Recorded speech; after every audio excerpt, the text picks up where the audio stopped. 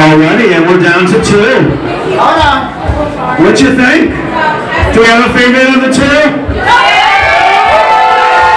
This was a really, really, really, really, really close pageant. Less than 100 points separated the winner from the first runner-up. Are we ready for our first runner-up? Yes!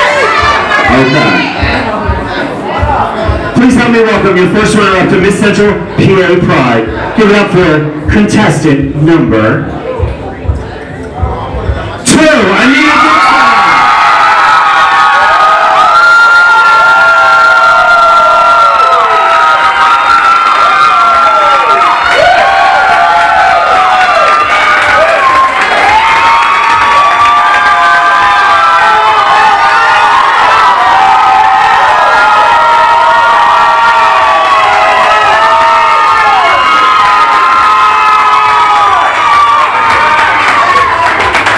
And so, obviously, we're not crowning a winner. Ah, gotcha, girl.